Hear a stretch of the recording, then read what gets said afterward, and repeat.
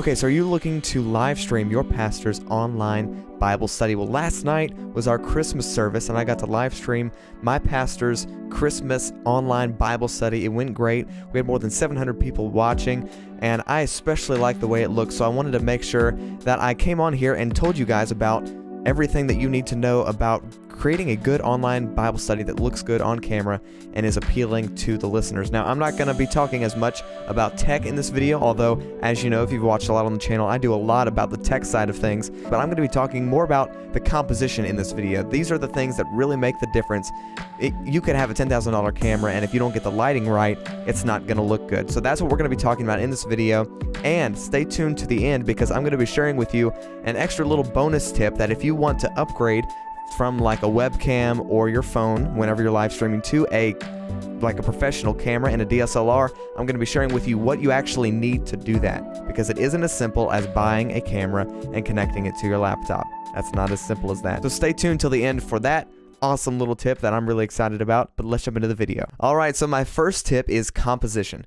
Composition is one of the biggest ways to tell a story using a camera. And a lot of times people don't realize how important composition is. Sometimes the camera will be leaning far back and the head, in fact, try that out. Lean the camera back a little bit and my head's all the way down here in like the bottom left corner. It doesn't look good. All right, bring it back. Or lean forward a little bit. Or it's like this and I'm looking into the camera like that. Okay? Hey, you can tell while Alana's operating the camera. All right, all right, back up. So composition really makes a huge difference. So what do I recommend with competition? Competition with composition. So last night, Pastor Allen, my, my pastor, was in center frame at a table. So this was more of a sit-down Bible study type thing. I was using a 50 millimeter lens for those of you that know what that is, with a 1.8 aperture. Of course, Christmas tree in the background looked beautiful. I mean, you're seeing the footage right now, uh, and we're gonna get to audio here in tip number three. I just gave a spoiler, but hey, Audio is very important, and we'll talk more about that later. But he was center framed, and there was a good looking background. So I wanted to make sure that the image wasn't very cluttered, that there wasn't a lot of random stuff, boxes, dirty dishes in the background, blankets. I don't want any of that in the background. I want it to be a clean background. And I'm going to spend time figuring that out. And dealing with composition, I won't go deep into this, but there's something called the rule of thirds, where there are literally three by three by three boxes on on a camera. And in fact, you're seeing some of this right now. Three by three by three boxes that help you compose the image. So right now, my I'm in center frame right now. I hope I am at least. Alana's operating the camera, so we'll see how this looks at the end. But I am in center frame. My eye is about on that second uh, line that's with and there's a little bit of room between my head and the top of the frame. That's usually a perfect composition. This is great for one-on-one. I'm talking to a camera. Now, sometimes stay keep the camera right there. Don't follow me. Sometimes you you can also have your eyes kind of on this little corner area right here if you're looking more that way. But if it's just you and you're doing an online Bible study, this is usually the best. There's a little bit of room between my just a little bit, like a few fingers, maybe a fist, maybe a fist between my head and the top of the on the top of the uh, the frame and you can see down to about right here in this area so. That's usually a good, comfortable composition. And if you think about it, whenever you're watching movies, different comp- shot compositions give you different feelings. Some shot compositions that are really close, like this, will feel, you know, like, I don't know, trapped or like you're in a smaller space. Whenever I'm like this, though, even though this is a small room, it's looking like a bigger room with plenty of room to record video. This is just my bedroom. I mean, my bed's right there, so the composition makes it look like a better space than it even is. So composition is very important. Now, if you do have two people on screen, a lot of times you'll have one person on one side looking kind of facing more that way and the other person facing more that way. That that way they can easily look at that person and the camera and it looks more natural on camera. So that's what you want to do in kind of an interview scenario. If you have more than that, then just Instagram DM me or something. I can work out a good composition with you. But anyway, let's get into tip number two. All right, tip number two is lighting. Now, for lighting, this video, uh, I'm actually using the same light I used last night. It's a GVM.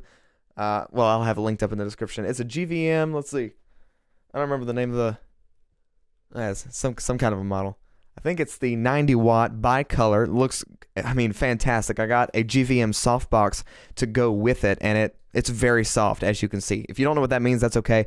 I'll leave everything that I am using in this video to shoot this video in the description below. So if you want to go check it out on Amazon and see the reviews, there they are there. But I really like this light. I've only had it for a few weeks now, and it has been phenomenal, doing everything I wanted to do, not even at full brightness, and it's it's crushing. So I used that last night and it really provided a lot of soft light on his face. As you're seeing here, there's a little bit of shadow on his right side. Now, you might be thinking right now that shadows are bad and you need, you need to get rid of shadows. That's not the case. Many times, for a more professional looking video, you want to have a little bit of shadows on one side of the face.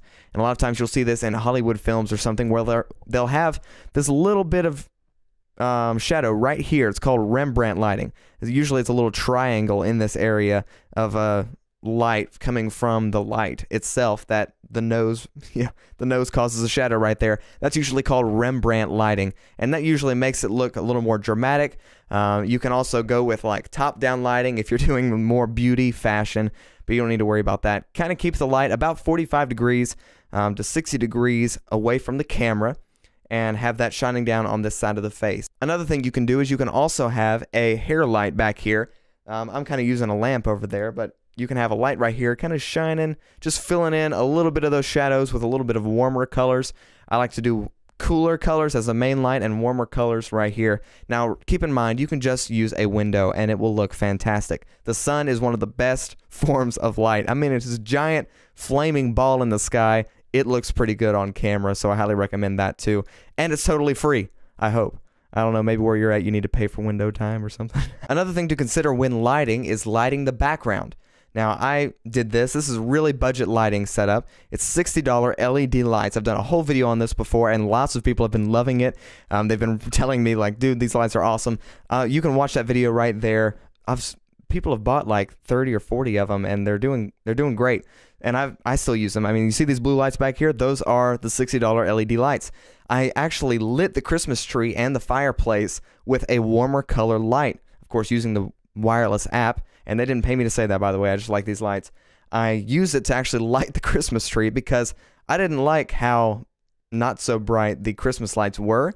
So I kind of just added a little more there, and you can't really tell if you don't know what you're looking for, but it really helped kind of bring the image together. Now, you don't want the background to be brighter than your pastor or the subject. You want to make sure that their face is the subject and it's standing out from the background. I just like to have a little bit of color back there. I usually like the way it looks, and that's and that's kind of a personal preference for me. So just something to keep in mind backlighting. Okay, but next up is tip number three. But first, before we get into that, please like this video and comment below if you have any questions. Seriously, I want to answer your questions and subscribe for other media tips and tools for churches.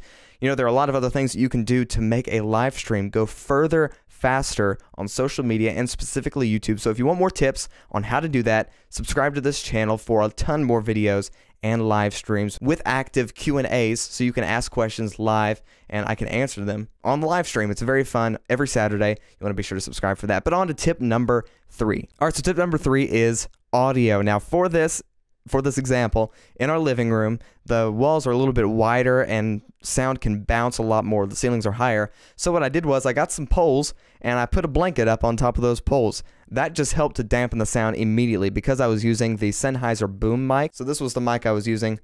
Yep, it's a Sennheiser there and it's a Great mic, great boom mic. I'll link it up in the description below. I actually got it from somebody else. I didn't have to pay for it. Um, we use it at the church sometimes as well. So it is a fairly expensive mic, but I'll leave a link to it in the description below if you want to get it anyway. Because this thing has some crazy good audio that comes out of it. and it's just, it's fantastic.